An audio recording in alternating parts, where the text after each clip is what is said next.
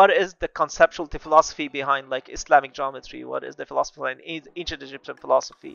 If we ever have a bad version of the AI, it's because we are ourselves are bad. It's not the fault of AI; it will be our fault. If the AI is alien, it's because we're treating it as such or like we are using it in such a manner. Welcome to PA Talks, uh, a podcast where we dive deep into the ever evolving world of architecture, design, and technology. I'm Hamid Hassanzadeh, your guide into this captivating journey. Today, we have the privilege of introducing Hassan Ragab, a rising star in the realm of architectural conceptualization, where he explores the limitless possibilities of AI driven design ideas. Hassan is an architect, interdisciplinary designer, and visionary artist with 15 years of expertise spanning various domains. He's a pioneer in blending identity, beauty, and technology using AI. Breaking free from the confines of four follows function, Hassan, he founded Hassan Ragab Studio in January 23, focusing on interdisciplinary design and generative art. Hassan's work transcends borders, encompassing architecture, art exhibitions, storytelling, heritage preservation, and more. He's also a talented instructor in PA Academy where he has taught stunning AI sessions with Midjourney. Join us as we explore Hassan's career and his visions for the future of AI in architecture.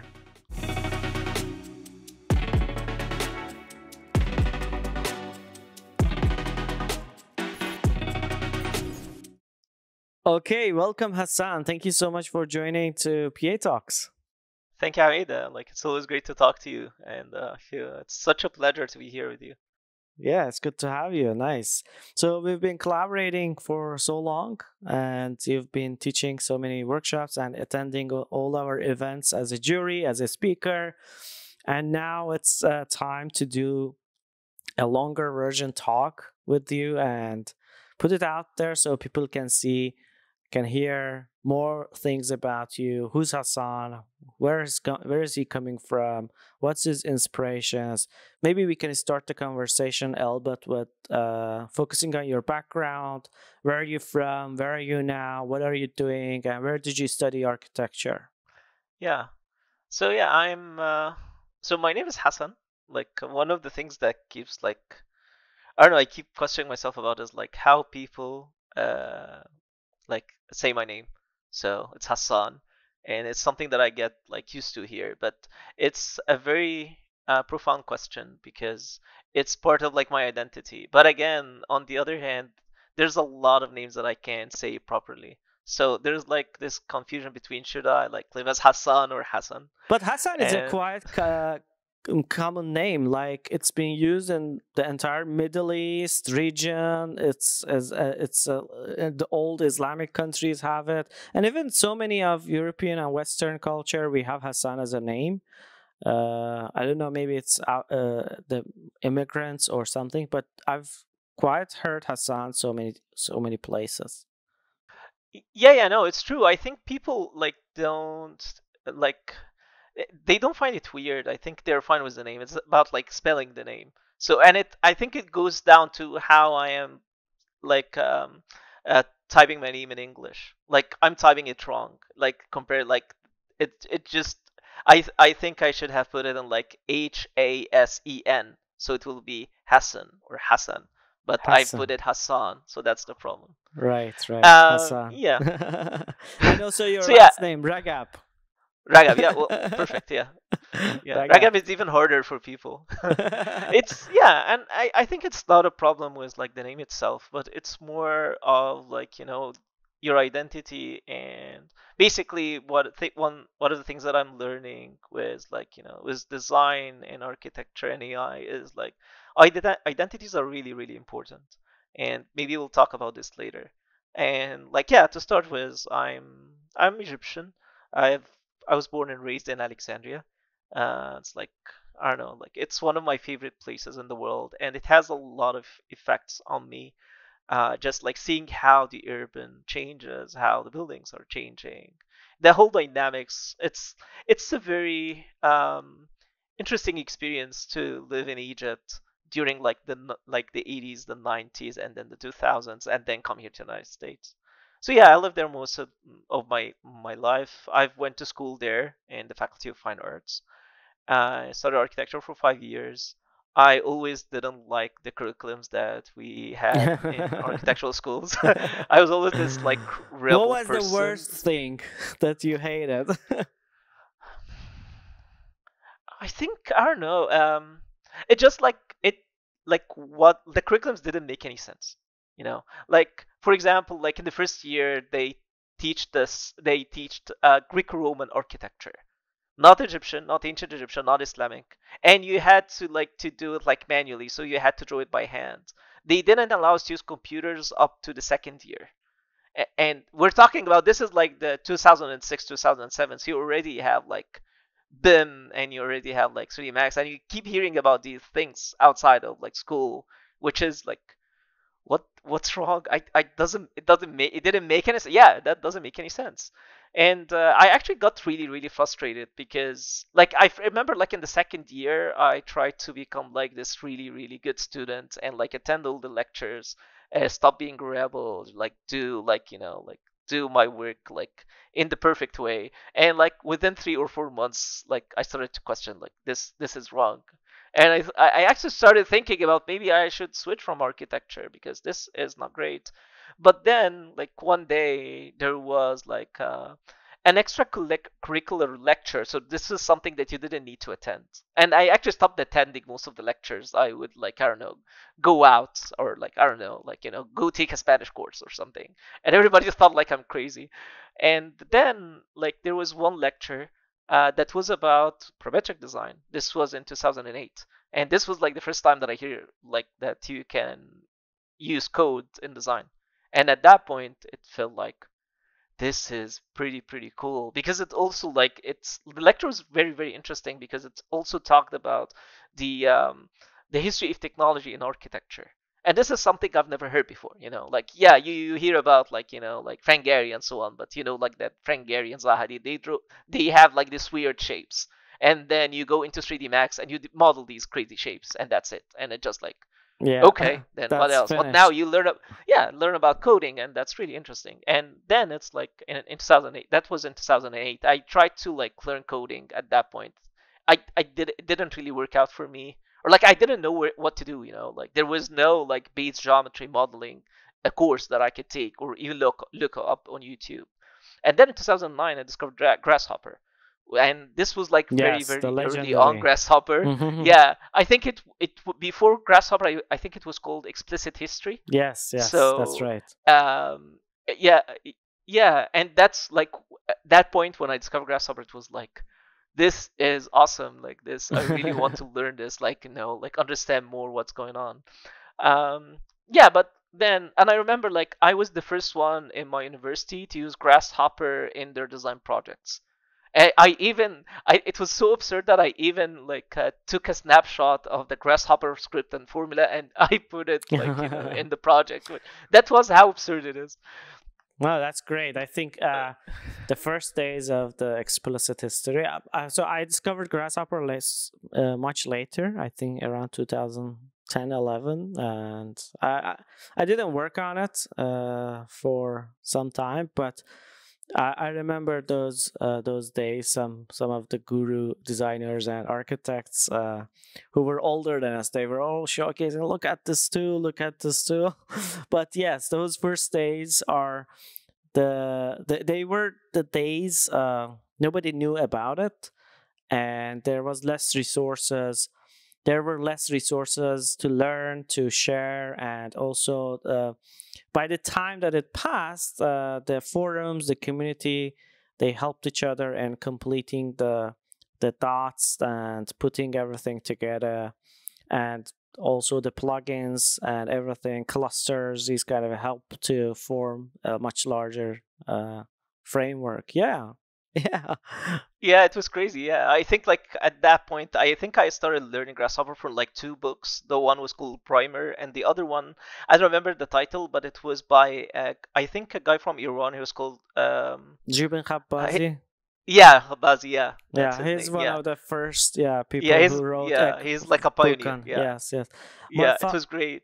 Yeah, what was a morphogenesis of the geometry or something? Like maybe we can put the Zubin Khabazi's book in the description so people can check. I, I'm not sure about the name of it. I think the world owns this. Uh, to owns like the whole computational design community owns like a yes. lot of their knowledge to to this guy. Yes, in my yes. opinion. Exactly. That yeah, that was the dark days. you know, like no YouTube, nothing. And also, like I remember, like in 2011 or 12, I don't remember when Daniel Piker released Kangaroo, and yes. at that point, it was just, oh my god, that was fascinating. And uh, yeah, yeah, it, it's yeah. Like, Zubin's Zubin's book is called uh, Generative Algorithms. Yeah, yeah, exactly. Yeah, and there was also another book uh, talking about mathematics and architecture. Oh my god, I haven't read these books in like 11 years. It was by a lady. I I think she has like she's either Arabian or like Middle Eastern. She had like a, some form of like an Arabic name. Um, so yeah, like again, you do these, but again, you study these books and you do nothing with them in Egypt in 2010. So I, at that point, I worked in exhibition design and museography because like one like I when I was in third uh, year of school, I helped one architect in their project in like a competition, national competition project for a museum for Gamal Abdel Nasser, who is like a profound president in Egypt. And we, when I was in the third year, I won that competition actually. Oh, like our group won this competition, and this was great. And then when I graduated, I I didn't know what to do, so I worked in that. Um, so I worked in museography for about five years, and on the other hand, I was like teaching Grasshopper like individually. I was it was so funny that I ended up teaching Grasshopper to my professors, like the my professors at school. Now I was teaching them, which is yeah, that was really interesting. So yeah, I did that for about five years, and I've been like trying to research like yeah, you know, computational design. I'm trying to do digital fabrication with CNC machines. I even I tried to go study abroad, so I applied to ICD, the very first program in ICD in 2013, and uh, I think the program they accepted only 15 people, and I was one of the people they got accepted, and I was like really really happy, but unfortunately I couldn't go because I didn't have money, and I I wasn't doing very good at school, so I didn't get a scholarship, which is like yeah that was uh, such a disappointment but yeah, but after that, I ended up doing a couple of projects, like exhibition design projects in Dubai, in Qatar, in Egypt. Uh, doing workshops. I did a workshop in uh, EAC in Barcelona in 2011. So like I've been trying to explore this whole computational design realm on my own, very very randomly. Um, until like 2015, I didn't want ah like I didn't want to study or like this to work in exhibition design anymore. So I started my own design studio that made computational design furniture. Like in a, it's basically like a mid-century furniture with a twist of like computational design. And this was like a, a pretty new thing in Egypt back then. I don't know if it was in the world. No, no I think the world like uh, by that time it caught up with the whole computational design thing, and you can see like furniture. But in Egypt, it wasn't that case and yeah it, like i spent like two years on that. It didn't go well. And then i had like opportunity to come here to the united states with my wife in 2018 and again i was very lucky to work uh, as a computational designer here in the united states. And within four months i mean it was a very very happy coincidence. And uh, i didn't i couldn't find a job at the beginning because i'm egyptian. I didn't study in uh, in in the US or like uh, you know Europe and nobody knew me. So like all the companies was kind of really really uh, I don't know afraid to hire me. Like or like they were a little bit cautious. Even my company was a little bit cautious but like my company like Modern Bros it was great actually. Like my boss Andrew was was a great person. And like it's like they wanted people to who have like a mix between digital fabrication uh, and computational design you know like mix and you know like i was at the right place at the right time so i think i was lucky. And uh, i worked at the lucas museum of narrative arts. I don't know if you know that project like it was by MAD architects. Uh, it's I in think, downtown yeah, los I know angeles. It. yes i know it yes. Yeah yeah. So yeah i worked on that for like about three or four years. Um and again like i i, I that's that i was working like as a computational design and construction and that's something that you would often see like an architect working in construction. And I think that was a very, very interesting thing to do because you can really get some hands-on, um, like what you see from the buildings like that were being built by Zaha Hadid. Uh, outside of like the architectural perspective, like how to build these things, what it takes to actually build these things. So this was like a great experience. Like, but it was also like a very philosophical experience for me because it, although I worked in construction, it's actually where I learned design if that makes sense or like learned how it to judge totally makes design. sense yes yes how Yeah. to design things that are buildable. Or, or not just build uh, yeah it's not also buildable. I think we can build everything like working in construction. We ha- we now have the capacity if you can visualize it you can build it. You will you have the math you have the good structure you, you have everything that make you able to build these kind of buildings but the problem is should we build these buildings? And what are the impacts that we are doing by building these buildings? And you know like again like at that period i wasn't very creative. Like all my work was basically like i was working with grasshopper to like to create codes and plugins and tools like to like very crazy tools. Uh, we were doing things that like out of the playbook. So we did like we we ended up like trying to create our own plugins to kind of solve the issues that we're working on in the field. Yeah. And then but again i i didn't really like it because i always like to imagine things and be creative and this job wasn't really creative.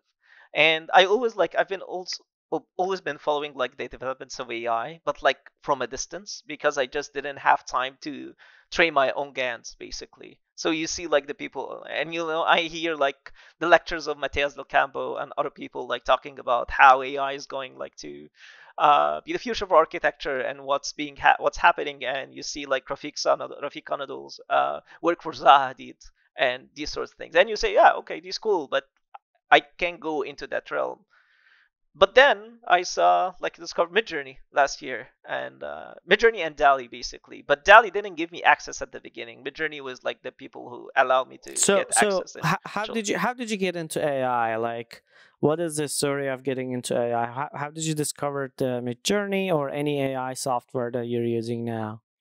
Or well how did your in- interest emerge with ai um yeah it's just like yeah l- I've been interested like for a while, but I just couldn't get my hands into it again because like I guess like my start my interest in AI started in 2021, but this is actually we're talking about only looking at videos at YouTube that uh you know like like uh, explain how neural work uh, neural networks work basically which for me just watch watch it like that like i have no idea what's going on like and i don't think i'm able to kind of develop my own thing you know like i'm that not that good at data science and coding to build my own thing.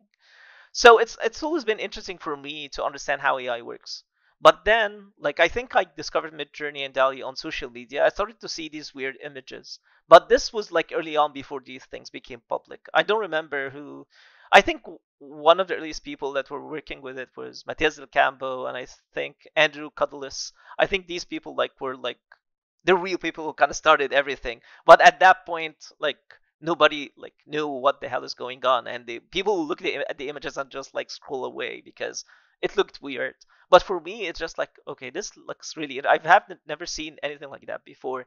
Like midjourney like we're talking about v1 and v2 where like you can barely understand anything that's in the image. So yeah i just like tried to look up like what tools to be used and there were a couple of tools but midjourney like seemed like really really interesting. But at that point you have to be invited. So i applied like i sent them an email or i think there was a forum that you can apply to get early access or so. I did that and i did that for DALL-E too and it took them like two weeks and then they sent me an invite. And uh yeah i remember like you get like 25 free trials before you actually subscribe but i remember i i subscribed from my first image because like you know i don't you know like i think it's just it uh, it was weird like you know you just like you type a word and in a minute you get an image that wasn't there. And it's at that point i i felt like hey this is this is huge. This like i i need to really focus on this. I really need to know what to make out of this. So um yeah i think i didn't start i didn't stop like using ai ever since uh, it became like an obsession, and I just didn't know why. Like I like it seemed I I started to lose sleep over how this thing is revolutionary. And uh, yeah, and I just I don't know. I just started posting on Instagram. I think I when I started posting, I, I don't know. I probably had like 400 followers at that point, and I think they were all my friends. I don't think there was anybody special. Um, and I just like started posting it because I wanted to communicate with people who works with AI, you know. Just like, you know, I'm seeing them like putting up their experiments and I thought, yeah, let's put it like, you know, and get in touch. And actually that worked. Like uh, at the beginning, I got in touch with a lot of people, for example, like Kyle Steinfeld and, uh, you know, other people who've been working like with it, like Will Garner or Tim or, you know, Joshua or, um, so like yeah you start connecting with people but then you like these like you now you get more interest with like every time i post now you get more interest uh, like you know like people start following you more and you start to get commissions and you start to get interviews and we're talking which is weird for me like it was very very weird i remember whenever uh, the, the moment uh, we connected on instagram i think I, I, I messaged you from PA uh, for a possible collaboration. And we wrote an article together. You wrote an article and we published on PA your views on on Midjourney and the ti- the topic of the title of article was a mid journey to the world of Hassan Ragab, or a journey inside the parentheses. Yeah, mid journey to the world of Hassan Ragab. And it had a lot of views on our website and got so many, so many clicks. Uh, of course, the work was good and the the the uh, the article were was worth reading and well informed uh, information, well well written information, but also the title affected that as well. You are you were a computational designer before AI, and you worked with multiple parametric and computational softwares, and uh, you were you you had hands on these type of advanced tools in architecture. So or advanced tools in design process let's say. How do you think is ai is being used these days in the creative industry? And what is the process that we're now trying to integrate it with with our industry? Hmm. that's where it gets philosophical for me. So i think when like there's a different i think there's a big difference that everybody kind of there's a misconception between AI and text to image or text to video basically. And if you're talking about the integration of AI in architecture, so this is something this is something that has been happening um, even before Midjourney and Stable Diffusion, but now it's taking like a different shape. And uh, there's a boom like and discovering like diffusion models that now everybody wants like to integrate it in their process. So I think as we speak, AI is being integrated in the architectural process in almost every stage. So I've attended like a lot of talks last year uh, and I attended a lot of conferences. And almost every big company, you're talking about the big players, but even like the the medium, the middle players, but even like but the big players are integrating AI into like you know like conceptualization using text to image, but they're also using diffusion models for st- structural stability, for um, documentation, for like solving um, issues with like or like or basically creating plans and sections, uh, documentation, or even project management. So that's some not something that is going to happen in the future. This is already being implemented now. And there are there are a lot of like startups, architectural startups who are keen on integrating AI into architecture. Image like what I do basically or like how I see like image like um, generative AI as a way of conceptualization or like a way of imagination, let's say yeah, my my main my main question was also about the text to image or conceptualization because right now creative industry is uh, mostly focused in this part of AI in architecture or AI in uh, in, in, in, uh, in design industry. Yes, but for now it's in the conceptualization stage, text to image. But for sure, we're gonna have much better and much more comprehensive AI tools embedded in in our profession. Yeah. Yeah, yeah, and I think we have it now. And I think that's the problem. I think like when I first started using Midjourney and Stable Diffusion, I immediately understood that these are not architectural tools. These are artistic tools. And for me, I thought this is a very good way to like question architecture, question the practice that we're talking about right now. Because one thing about architects, like one problem about architects is that they think a lot about architecture and neglect everything else.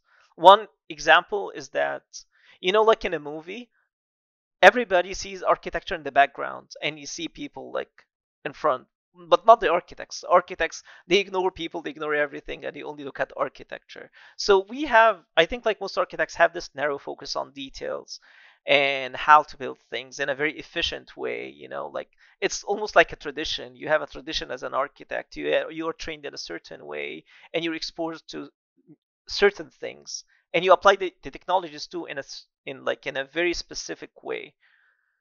But ai or like basically generative ai give us the opportunity to go beyond that to see architecture that is just more than what we have and question what we have i think like ai is just like zaha hadid when she first started. Like basically zaha hadid is like inspired by avant-garde russian uh, artistic uh, like art uh, art art movements. And i think like probably Zaha Hadid spent like when she first opened her studio maybe she spent like nine years not having any clients not winning any competitions and she was just teaching and showing her work in exhibitions. Because and i think like she didn't really care about the details. She didn't really take really care about how to apply like the details of the architect she thought as an artist basically. And and that's opened the, the, the door to new meaning or like new visuals and new ideas whether they're good or bad but like this is nobility this is true nobility here. I think ai allows us to do the same thing because it get it get us away from like the traditional learning you get exposed to so many new things uh, art photography uh, and art you're not talking only about visual because art is like more sensible so architects have always tried to like evoke emotions using abstraction and geometry. Art can be a little bit more direct. So now, if you can combine that with architecture, you have an maybe you have something that's really really interesting. So, but unfortunately, I don't think that's how it's being used right now. And I think this is because of the development of the AI softwares themselves. So, like the more that you get photorealistic models, the more that architects want to, like us architects, I think everybody wants to like get these tools to work in their old domains or like with all, with their old processes. Basically, integrate AI into creating something that is being created already. And this is great. Of course, I, I think that's a good use. But also, like, we're missing a big opportunity on like how we can really question the problems that we have in architecture right now. And it seems like nobody's looking at these problems. AI helps me, at least like me myself. It helps me question these ideas. It helps me know like, hey, what's wrong with architecture and how can I highlight that? How can I become I'm more aware of like what's going on? For sure, that's the creative side of it. And if we want to focus on how we do architecture these days, and there are so many um, repetitive tasks and many of much of the things that we do can be done uh, automatically can be automated how much uh, how, what kind of percentage do you think what percentage of an architect's job could be automated with ai do you think uh, we're talking about the future right yes uh, probably okay okay uh, i think it will be 100% 100% of an architect's job could be automated why not yeah, I don't know, like, be, of course. Yeah, it's just like when you think about it, like, what is the architect's job? Maybe that's maybe that's the question. Like, what architects do? But like this question has like two like two sides. Like the side is like you know the utopian side was like the architect is the master builder. He's the creator of the world. He can imagine like new new future, like a better future, and he builds for the people and the, for for the like the willness of everybody and so on the reality is so much different and nobody speaks about it so like everybody everybody who goes on instagram you see these cool buildings or great buildings or like we attend conferences and we hear about like words like sustainability and wellness and bright future and you know like efficiency and less carbon footprint. But that's not what happens in the architectural practice. Like i i i worked in like three continents continents uh, in architecture. I practice architecture three continents. I have friends who work in almost every important city that is building architecture. Talking about many regions talking about us um, england or like europe in general china. Nobody is happy. Like yeah architects are very miserable because they are not being creative. They are not they are not well paid. They have terrible life balance. But the worst part is is that they are just replicating a certain type of architecture which is like a postmodernism or post-digital architecture which is like form follows function.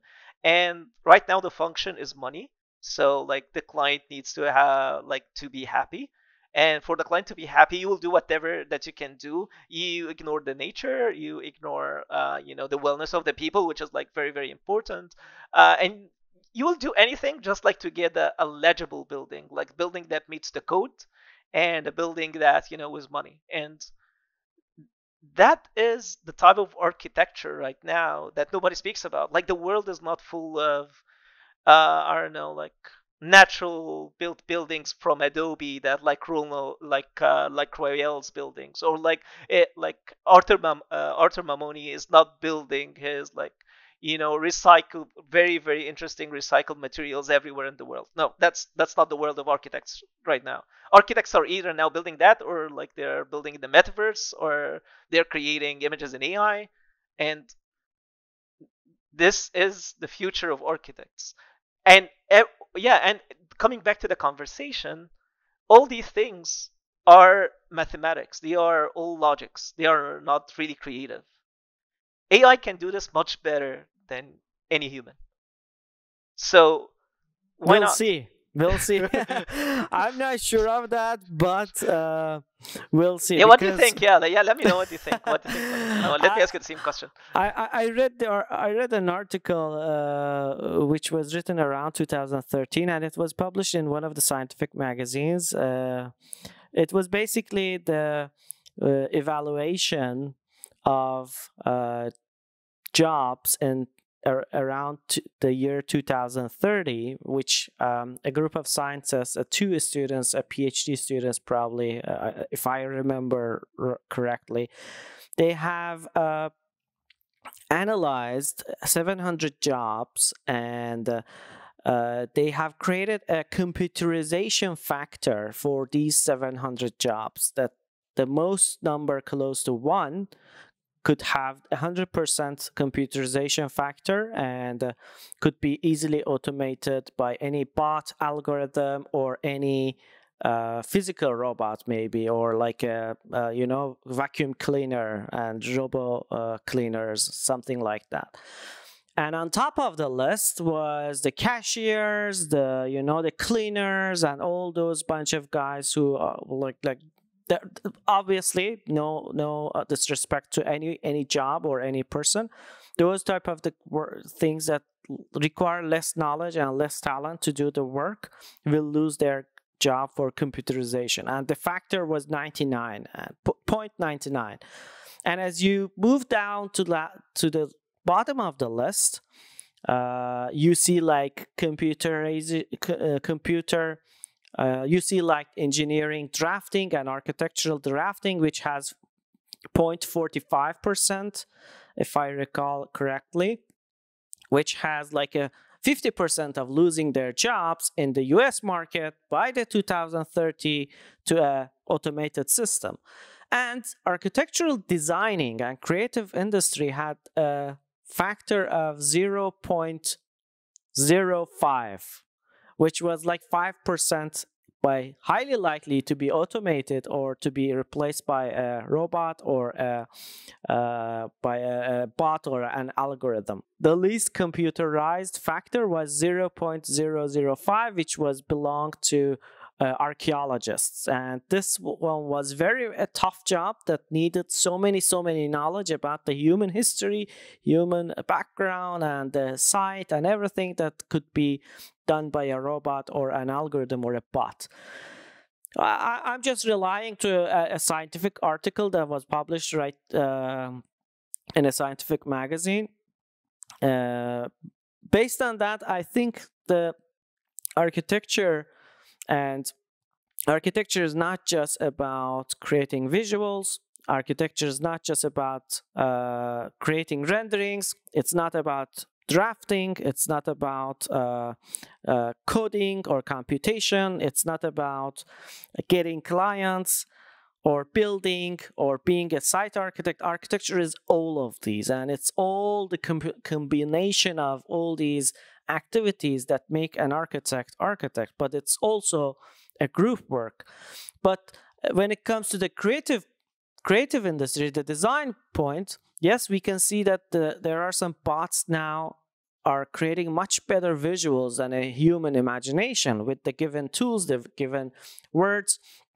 Uh, you know that we have done so many, so many courses in the past two years with about AI. You, uh, Tim, Hassan, Car- you, Tim, Carlos, Arturo, Ida, so many of these creative talents, and I, I, I know uh, I've seen how how you guys operate, and this is a very uh, you guys are pioneering are mastering the art of engineering and bringing the things that is somehow out of imagination of people probably or out of imagination of any human and bringing it into a visual format it's a great work but this is not alone is just an architecture i believe it's a creative industry which is a great conceptualization and ideation process is very highly valuable valuable, but the uh, architecture means something like bringing something into also a physical world and building it.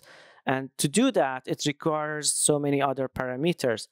I don't say it's not going to be automated, but there will be tools that will be automated for our industry and it will save us a lot of time and they will uh, just be our a savior angel to not to focus on the boring side of the job rather than just focusing on the high quality relationships with the uh, with the users high quality understanding of the environment and also uh, understanding of the requirements of the client and also delivering the best project. That part of the job that we're doing now, the ideation and conceptualization, is maybe 10% of the, the whole architecture.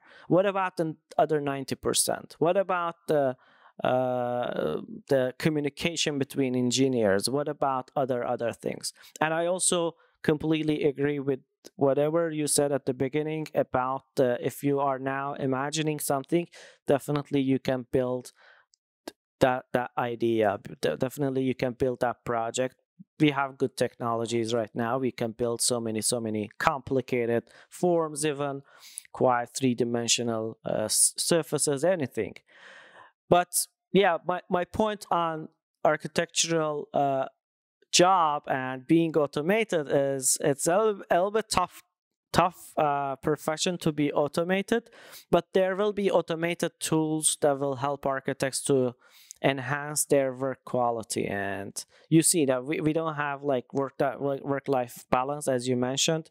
We are miserable as shit. But but uh i hope it will help someday for us it will be a good help for us yeah, well, I think I think the problem or like maybe like my question or like my, maybe my answer wasn't really around how AI will take over like the architect's job, but mainly questioning what is the architect's job right now, basically, you know. What has it turned to? That's maybe like the the problem. I mean, the AI will basically replace the architect's rule if the architect's rule stayed the same which is you can see it like with the development of AI, you can see it like architects. I think the great thing about AI is that it it it should be helping architects not to think as architects you know, as an architect, like you said, you think about the bigger picture, right? But because architecture is like very, very a very, very intensive practice, we tend to lose this bigger picture. So now you have like different rules of like you don't have the term architect right now. You have like an architectural designer and you have like an architectural engineer and you have like a site engineer. You don't have one person that does all this. And I'm saying that because I worked in all this. I've basically, I was very lucky that in my career, I almost did all of these things. To connect them together in, in, in one practice, it's a really hard job. And you can do it with AI. But then it's your responsibility to use AI to push the boundaries of what you can create, not to replicate what you're doing. And from what I'm seeing, like again like i think this is all comes down to like how ai how technology how people use technology in general not only in architecture they don't use it for like the well-beings of like the people they always like use it to i see make I see. more money i guess maybe we we should uh use the term AI architect. I hate future. it. I oh my god, I hate it when somebody tells me I'm an AI. Ca- I don't know. I even don't consider myself an architect anymore. You know, like yeah. right now, like when my my biography, the first thing I saw, I put like designer and artist. I'm I I can't yeah. say what I'm doing is what I'm doing is not architecture. Yeah. Be, uh, like let's yeah. say that it's architectural philosophy. AI artist. What about AI artists? You hate uh, that too. I hate it. I, I mean I, I understand what it means and like as a differentiation, but the problem is there's a lot of stigma to being called like AI artist. Um, it's just uh, limiting yeah. limiting yourself. I, I believe there were, there was a period people were using Meta Architect when the it's metaverse was so high. I think it tells a lot. I, I think it's when important to the, yeah was so yeah, cool. yeah. I think the problem that yeah no worries. I think it's a problem when you call yourself an AI artist because now you're limiting yourself. When people say that you're an art an AI artist, it might give them a context. However, like I see a lot of people who use AI, I don't associate myself with them. I don't. I try to like, yeah, I'm not doing the same thing. You know, it's like two people using AutoCAD and one is building. I don't know, like, no, that's a bad example. Actually, forget that. But yeah, it's just like yeah, I'm using I'm using a different uh, I, I don't like the word basically no it's again like you said it's like very limiting and it's very yeah it's it doesn't give you the whole context of what you do basically like if you're an ai artist or like architect okay what are you creating like as an architect like you can be like uh, building museums you can be building i don't know hospitals you could be a researcher you know there's a lot of things that goes under the same umbrella art is a very very big umbrella and now you put ai artist that's like very limiting in my opinion. Yeah. What's the message behind Hassan Ragab's works?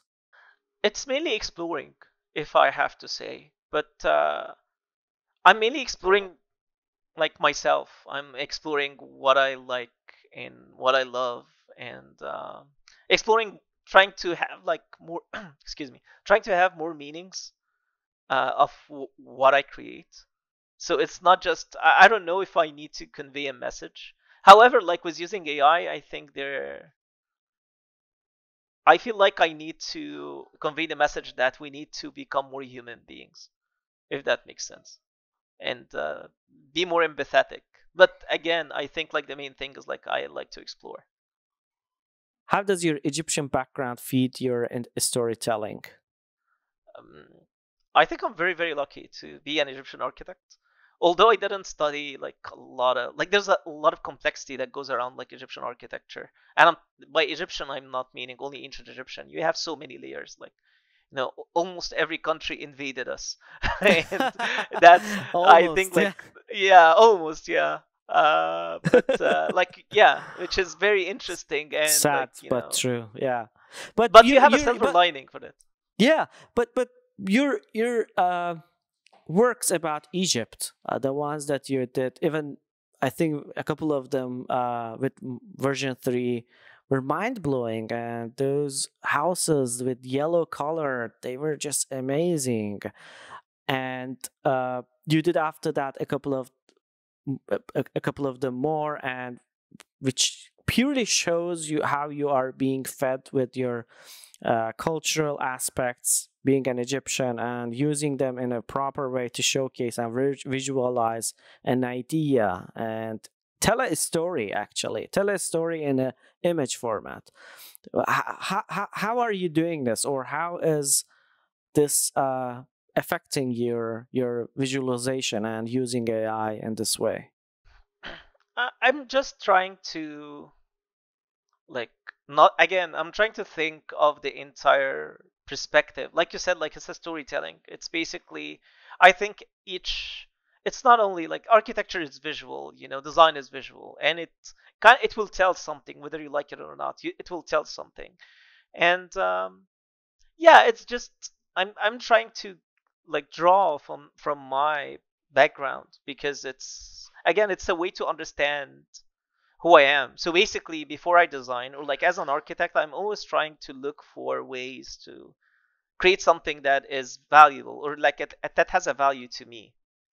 I think art, I think basically, like if I'm an architect, I've always had like the question of like, what am I? Am I an architect or not? I like, I, I, as a person, as an architect, I hated to do like architectural drawings. That was not like my favorite thing. And like solving details. I i really didn't like that. I liked more like to un, like to do concepts you know build like weird things or like design weird things. Uh, at in school they always thought i was crazy. And uh, yeah which is very funny. But i think I've I always had this thing about like trying to understand like uh, what I can create, what's new that I can do, and eventually that led me up to okay, if I want to do something new, I need to first understand who I am and where I'm coming from. And maybe because I'm in the United States and I'm a little bit homesick, I don't know. It made me contemplate a little bit more about like my life basically, like my my childhood, my upbringing, my education in Egypt, about Egypt in general. And this has like a great impact on me to try to reach out for those both like artistically and also like in research wise so i'm I'm now reading more. So when I started using AI, I was reading a lot about like technology, AI, the future. Now I read more about history and like whether it's like history of Egypt, like different parts of like you know the history, not only architecture but also like the creator context. And it's just amazing and it's almost endless. You're talking about like I don't know, four thousand years of like history, like deep, deep history and conflicts with many con- neighboring countries and the world and this has like all of these kind of mixed together into my work basically. It's also tried to reflect on like current events or like life in egypt now or in the world right now. And i think this is really helping me develop my visual vocabulary outside of like walls outside of doors outside of, outside of windows. Now you talk about like okay there is a history there are more dynamics that was before modernism you know basically like how how what is the conceptual the philosophy behind like Islamic geometry? What is the philosophy behind ancient Egyptian philosophy? What is uh, hieroglyphics uh, resemble? Like what they what do they mean? How we can reinvent them in a way that is not westernized, in a way that is not modernized, a way that is more suitable to our culture and our identity, or at least mine. So, I think that's what is affecting my work in a in a way right now that's where I'm heading. Yeah, and uh, you're so so you're conveying a message through your uh, stories and uh, through your visuals. How do you think people should communicate? Uh, other people should communicate their own messages through this kind of visualization and ideation. How to find their own path and how to uh, be able to prompt engineer, let's say, prompt engineer their, their thing rather than the technical aspects of learning how to uh, do prompting. What about the the story that everyone themselves that they want to uh, go and explore? Like things that you said right now here, I mostly understand this message that rather than exploring AI, this is a self exploration, exploring yourself and finding out who you are. And basically, upon that, you can definitely uh, discover what are your intersects, what are your main focuses, what what would you, what would you want to tell to the world, and on on that note, what would you what do you think how uh, young creatives should focus on the storytelling? I think it all starts with questioning. I guess it's and that's like the hardest part about like being a creative, whether you're an artist or an architect. It's really hard to stay true to yourself because the world you know like this the world goes with a certain dynamics like you need to get a job and the job sometimes won't adhere to your beliefs or they won't adhere to your background? And then you'll have to change as a person or as an artist and you then you will lose your identity. I think that's the main issue. Um, if i think everybody should stay true and also try to understand that whether it's computational design whether it's ai whatever that you're using it's just tools. And the problem with like most like young architects or even like big architects now they think of the tools as a mean not a tool. Like they think about it as an end result. So everybody wants to create the best image that, that they can do with ai or that, that they need to design the most computationally designed looking building in a way because it's now the mean. What actually like if you want to be authentic, you need to use these as more of a tools for your own for your own vision, and that's like the advantage that the AI gives to the create to the creatives. If that they have complete freedom to do whatever that they want very very quickly, very very conceptually uh, without like trying to spend too much time in the technicalities. And also like like you said like the AI, the tools, like basically, if we're talking about like uh, generative AI, text to image, or prompting in general, they are starting to losing their technical aspects. So now it's much easier to create images than before. Right now, like if like at the beginning, like when I first like gave like a um, a workshop with PA, like doing a prompt was really really complicated. It wasn't that easy at, or at, not that complicated, but I think it, it's much easier than like Grasshopper, of course, but it was just harder than now. Now you just like type, I want a great building, and it just like get a very futuristic, very very nice image. Before that, it was really really really hard. So that means that you should really invest more into your ideas or into your um, I don't know, like exploring uh, philosophically and and abstractly what do you want to create? Because the tools will do it for you. Basically that's returning to like the the role of the architects uh, that we were talking about. Like you know ai will replace architects if they are not creative. Most of the most of what i'm seeing right now that architects are not creative. If you are not creative enough if you're not brave enough to challenge uh, what you study in school, if you're not brave enough to challenge your uh, boss or like the society to create something new, then AI will do your job. So yeah, I think just like be authentic, explore, be brave, and like don't take um, don't take the world as a rule. The world will only rule you if you are not following your own path if you're not like trying to be authentic.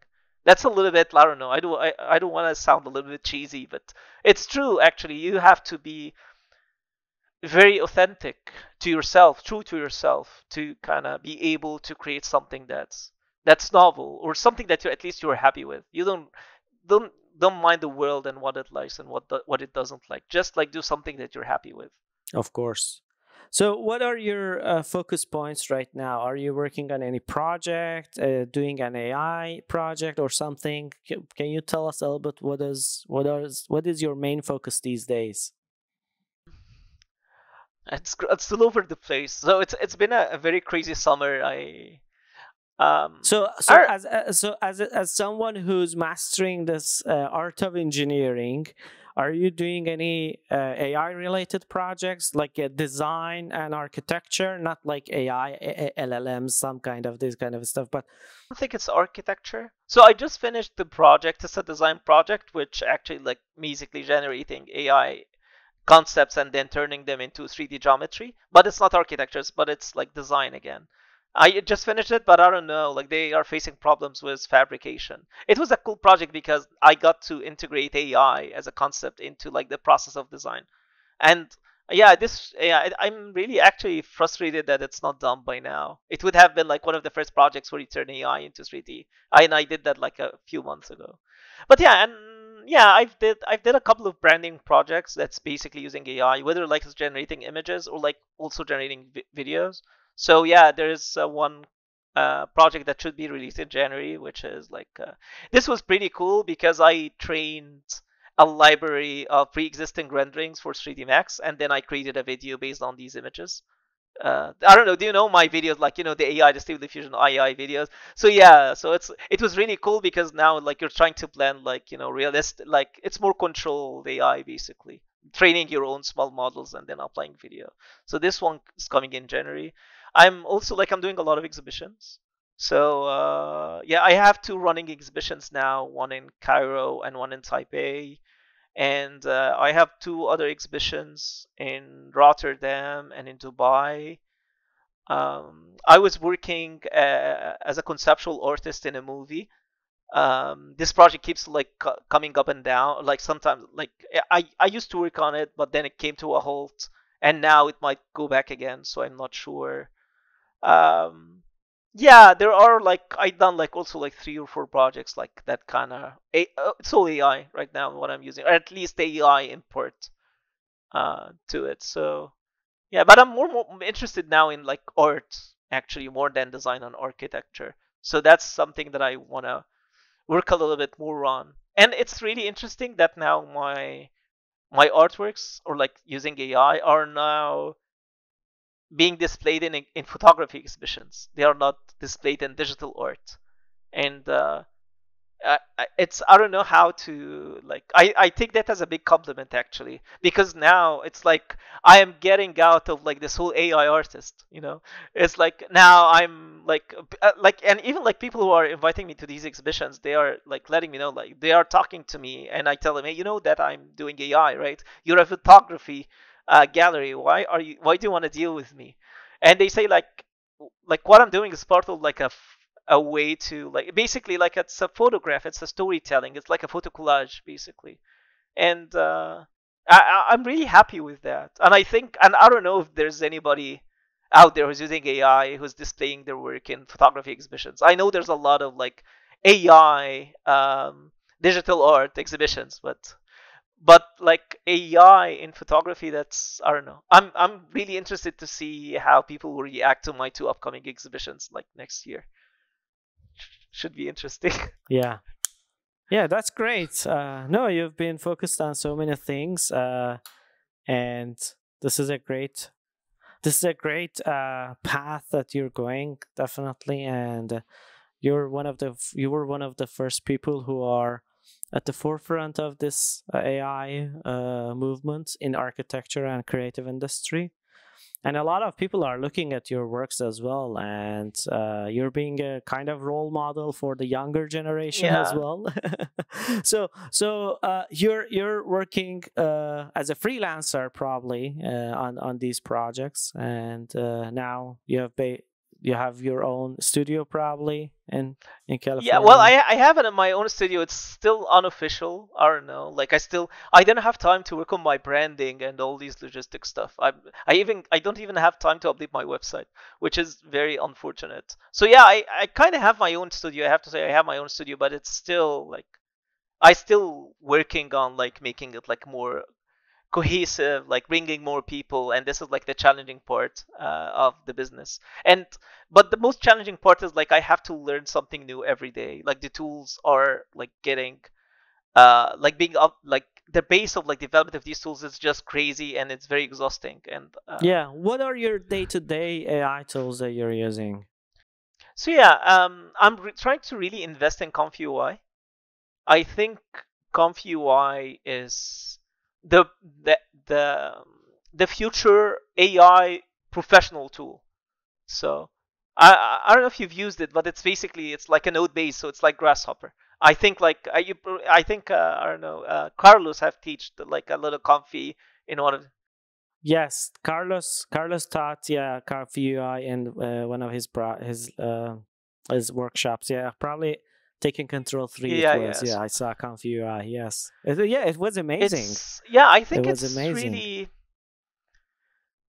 It's really professional. It's now like you really get the essence. Like there's the misconception about AI um, work that is like easy, that it's lazy, that it's cheap.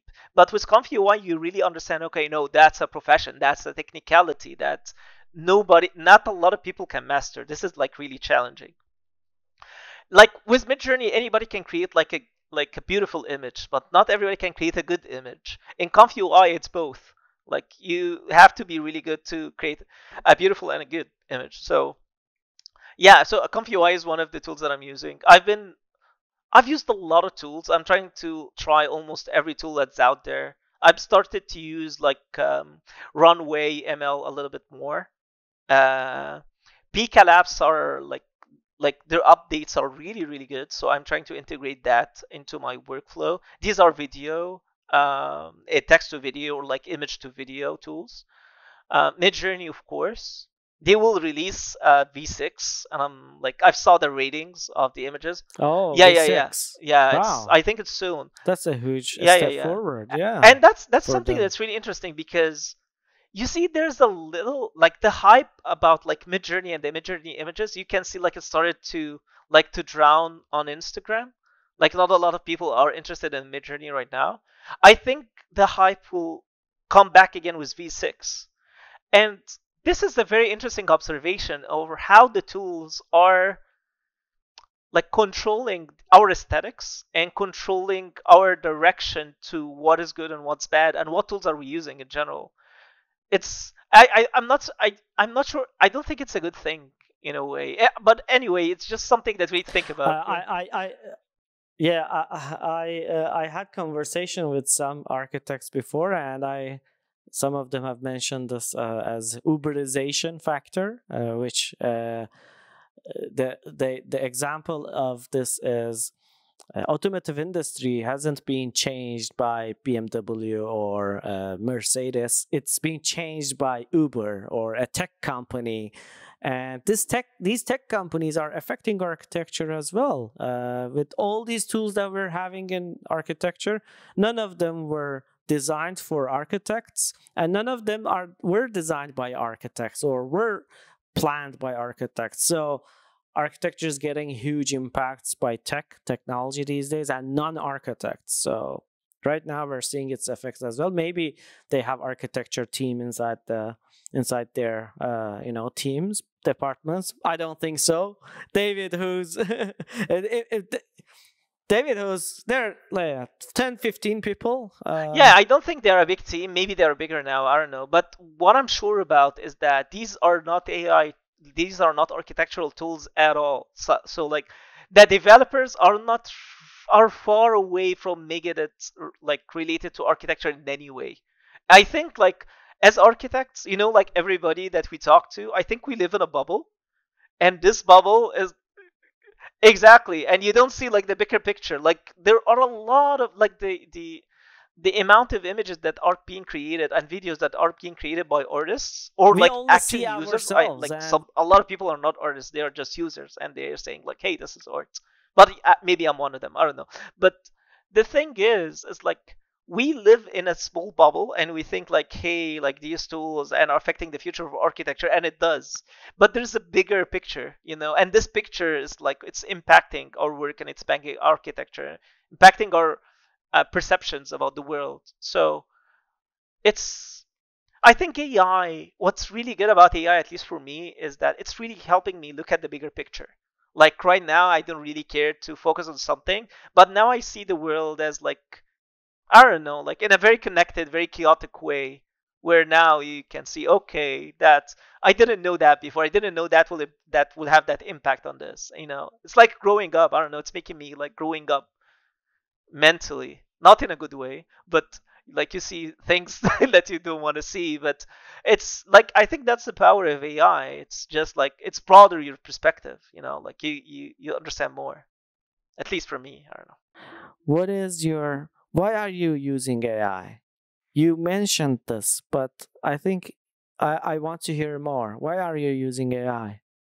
I'm using AI to explore and to like challenge architecture, question the status quo of architecture. I think like the current architecture scene is not helping anybody, not the architects, not the people, not anybody. And with the tool, we keep developing on the tools that we're developing, and we don't think too much about how we are developing them. We don't understand AI. Nobody understands how AI works, uh, whether in architecture or like or any other practice. And there's a lot of things that could go wrong, not only in architecture, but like you know, with everything. The existential risks from using technology is we are like looking down on them. We do not like paying enough attention about what could go wrong with using AI. But if we're talking about architecture, like we need to really be very careful about how we are designing what we're designing right now at the moment. Not not to think about the future. I think like the future will be figured out at one point. And I think like yeah, it's always great to look at the future, but it's more important to question the present and the past because we are operating based on some rules and some stereotypes that are just like 80 or 100 years old. The world hasn't always been modern. We didn't always build walls like that. We didn't always use concrete.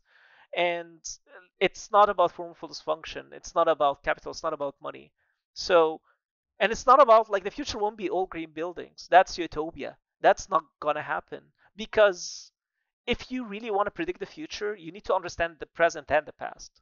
And basically, that's why I'm using AI. I, I'm if I am reflecting on my work on the future, sometimes it's more of like reflection on the present based on like past events on past history. So yeah, but using AI, do you feel like alienated? Mm, how so? What do you mean by alienated? Like uh, I don't know. There's this uh, something that is helping you or somehow uh, something that didn't exist uh, it doesn't exist but it's in in codes is there any i don't know sentient or have been have you uh, had the feeling of are you talking with the uh, talking an alien or something you had the feeling of you're talking with an alien with ai i mean uh, let me answer you this in a way. all, all, all the time, all that. Yeah, yeah, but well, it's not an. Well, it's it's actually before that. Like when I before while I was using like 3ds Max and Grasshopper, I always talked to them. I always felt like there's a connection.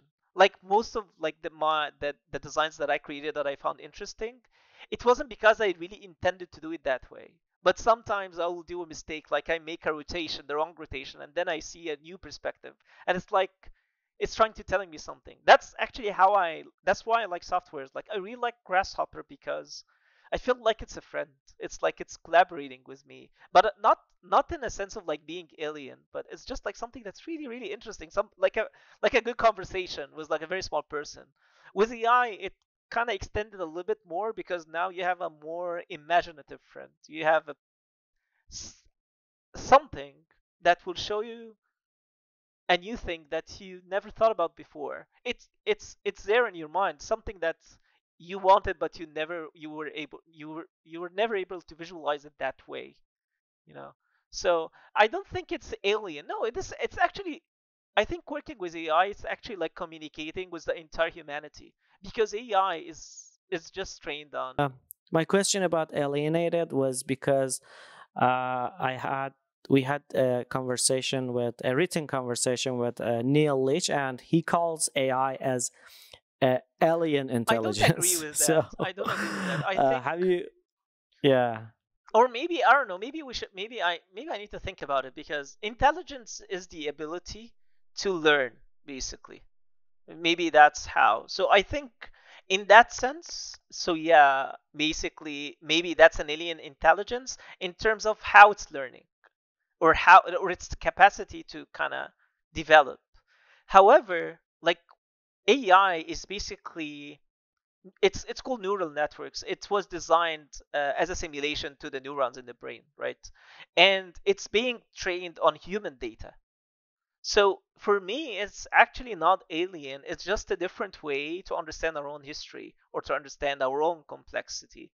If you're talking about an alien, then they will have very different perspectives about the world that we know, maybe about physics too. I don't know. But like AI is is partially human. Is in big part it's human. It was created by humans. It was trained by humans, and the data set is is human knowledge. So for me, it's like I'm talking to when I talk to when I'm using AI. I feel like I'm talking to everyone, not and and this is not an alien. That yeah. Exactly. It, it's it's like yeah, you're communicating with the past, you're communicating with the future. Even like we are training our models the together. Whole collective knowledge. Yeah. Yeah, like it's like you know, like in a way, if you're using Midjourney and like say like uh, Carlos or Joshua or like Andrew Kudless or like all these people, we are building something together. And there is a connection that we can see that you can see in our outputs. You know, some of the results that I get, it will look like, hey, maybe Carlos created that, or maybe someone else created that. You know, so it's it's a way to communicate with everyone. I I don't think it's alien at all, and it's really maybe it's also dangerous to think about it that way because that means that we are increasing the bridge or the gap between us and our tools. And that could pose an existential risk on how we see the machine oh that i think that i think that gap that's is going to be a huge to be very like you know we need to stick to like human morals to be like empathetic to let go of our ego to like you know to become more i don't know nicer to each other and to the tools that we're using and to stop think about like i don't know i'll, I'll become really really utopian at that point or like i don't know like uh, maybe unrealistic but i think we should really invest on becoming better human beings before using ai like yeah if we get a, an a like if we ever have a bad version of the ai it's because we are ourselves are bad. It's not the fault of ai it will be our fault. If the ai is alien it's because we're treating it as such or like we are using it in such a manner. That's that's my point uh, do you have any other words the final words that you would like to share with young creatives? Yeah i think that like i don't know if as uh, if i was younger i wouldn't i would like allow myself to explore more and understand the world a little bit more not to just try to be an intern in a in a in a big company or like to just go study uh, in a program and then like leave the program behind and then like face the world. Of course like go study do your internships whatever you want to do. However just try to keep an open mind for like during your 20s 30s probably like during your entire life because you don't have to figure things out right now like you will figure it out by time. You, there's no rush. You need take your time on like understanding the world. Take your time to explore. Take your time to, you know, understand your your your identity. Take your time to criticize what you're what you're doing right now. Don't be too hard on yourself. And yeah, just like you know, there's a lot of stress that is going on with like the younger generations. Every time I talk with people, they're just like very edgy because of social media and because of like there's the pressure that they need to like make it in the world. And this is a false like you know like believe me this is a false impression. This is not something that is good for you. Nobody kind of nobody knows it all. Every time everybody needs to take their time in their life. So just take it easy like and explore and you know yeah be happy you know like yeah. Well well thank you so much hassan. This was a really great conversation. I loved it. Yeah uh, looking forward uh, for more collaborations in the future. Thanks for joining pa talks. Yeah yeah always great to talk with you hamid. Thank you so much for having me